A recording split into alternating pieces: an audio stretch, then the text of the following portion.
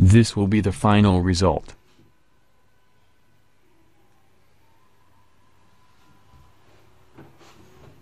First, film yourself in two different sides like this.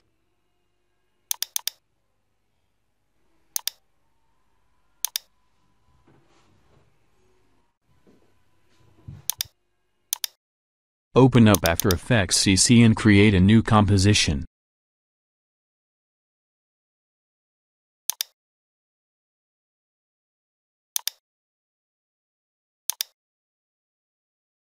Right-click the left pane, select Import, then File. Select both videos and click Import. Click OK. Uncheck the videos on the track, click the end of the longer video and match it to the shorter one.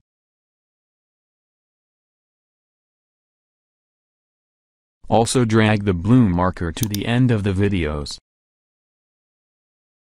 Go to Composition, then Trim Comp to Work Area.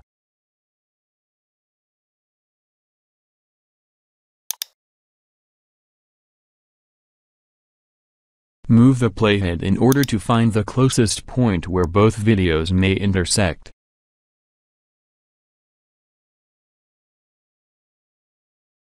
In order to see the other video, on the bottom left press the eye icon of the first video to hide it.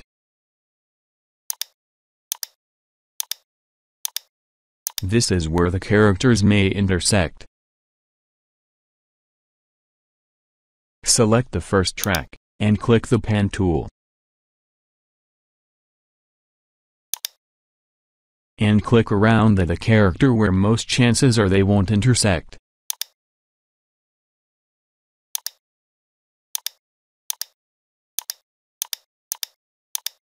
Click the starting point in order to close it.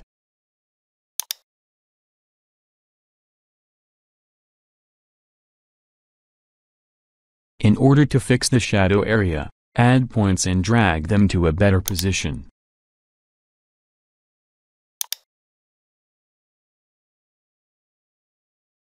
To refine and smooth the edges, click the arrow in the video composition, Masks, Mask 1.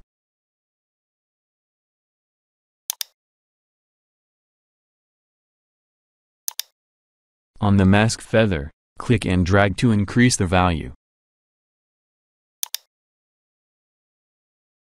This will make it look reliable.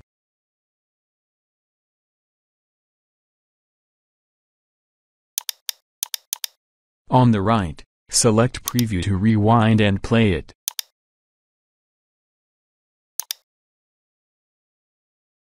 You can adjust the points throughout the video.